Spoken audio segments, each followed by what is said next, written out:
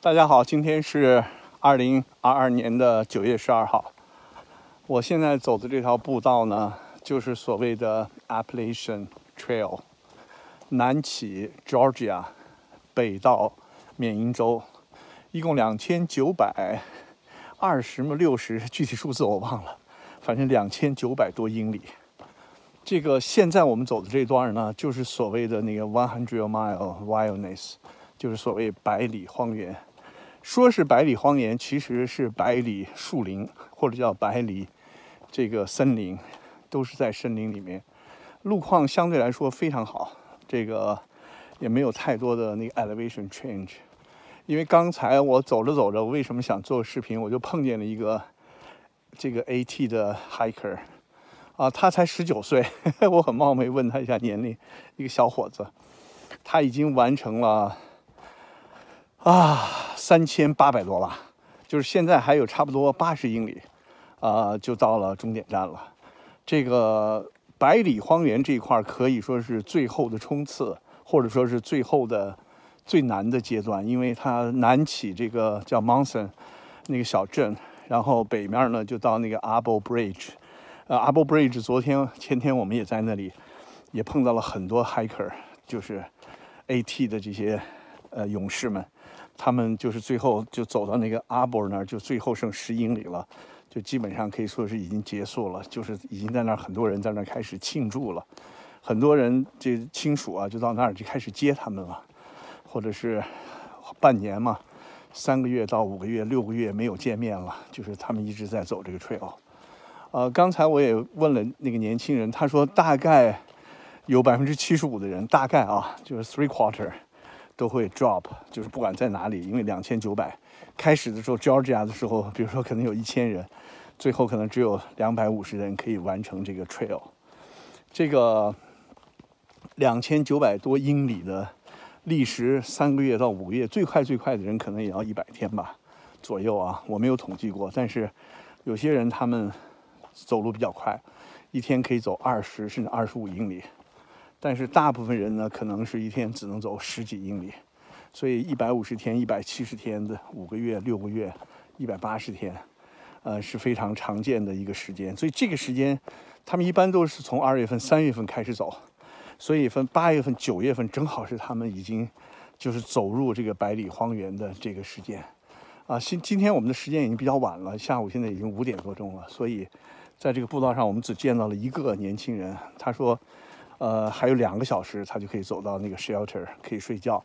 两个小时天已经就黑了，所以他可能今天计划的比较紧吧，走的比较晚一点。这个百里荒原呢，这一段呢，是就是叫做呃供给几乎是零，就是说中间呢没有这个呃吃呀、喝呀、住啊这些供给。”就是说，你自己要带足，至少他们建议至少是十天的粮食和水和一些你要用的东西。那么这个十天呢，就是一天走十公里吧。你最快最快你也二十公里的话，你也要走五天时间。所以这个百里荒原呢，就是而且已经走到最后了，已经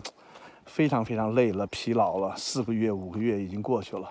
所以最后能走到这里的。都是勇敢者，都是胜利者，都是值得崇敬的人，啊，这些人真的是不简单。我个人感觉，就是他们是和自己的，啊，生命极限挑战，或者说他们在磨练自己的意志。其实，呃，这个锻炼身体是第二位的，甚至第三位的。有的时候可能，呃，老年人或者是这个不一定就是走路啊，可以锻炼身体，说不定。对身体还有一点点损害也说不定啊，但是我可以肯定的一点就是，他们是磨练了他们的意志，就是他们用汗水、用这个泪水，甚至用血水来磨练他们的意志，让他们成为意志坚强的人。这些人肯定他们也有工作啊，也要生活呀，也有家庭啊，但是为什么他们还要这个不洗澡，呃，不住过旅馆？然后吃不上热东热的东西，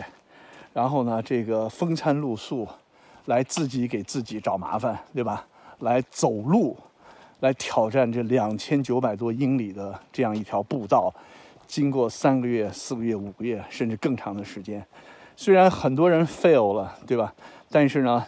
这个我觉得他们这种精神，或者说是他们自己，也是在给自己的呃一份挑战吧，也是自己呃把自己的这个极限给这个磨练出来，让自己成为更有这个意志的人，或者成为更有决心的人。做什么事情啊，就是也经历过克服各种各样的困难。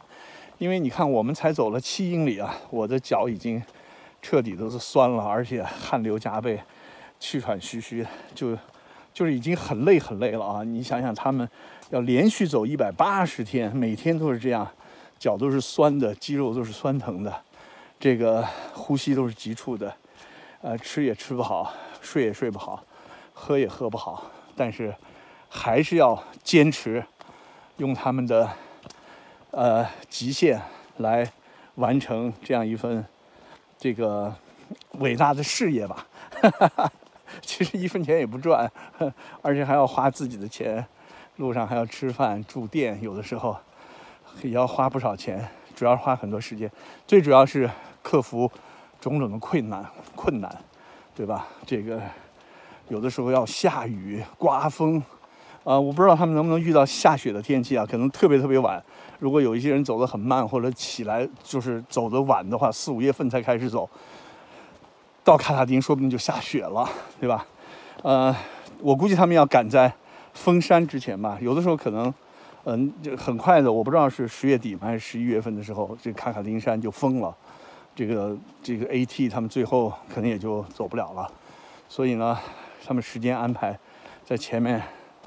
还有很多各种各样的原因，有些人可能就是。中途就退出了，身体原因啊，或者是各种各样的原因。但是总而言之，我觉得能走在这条 AT 上，啊，这些人都是很值得我们崇敬的。尤其我们就是看见他们的那种胜利的喜悦啊，看见他们那种快到终点中终点了以后那种由衷的那种快乐啊，这个真的也是很感动。好，我们现在。还是在这个 trail 上，这段路稍微有点难走，但是大部分这个 AT 他们的路呢，还是经过修缮的，因为好多牌子上面写的都是 volunteer 来 maintain，他们有一个 organization 叫 MACT 的 org，好像是，呃，我有一些照片牌子，就是他们还会啊有很多 volunteer 来把这个路上。做一些改善啊，啊，很很长知识。我们也，呃，从这个 hiking 啊，从走这个 AT 啊，也学到了很多东西，也看到了这些人的一种精神面貌，我们也很受鼓舞。好，今天就给大家分享到这儿。正好我走这段路，然后录这段路，跟大家一起聊聊我的心得。OK，拜拜。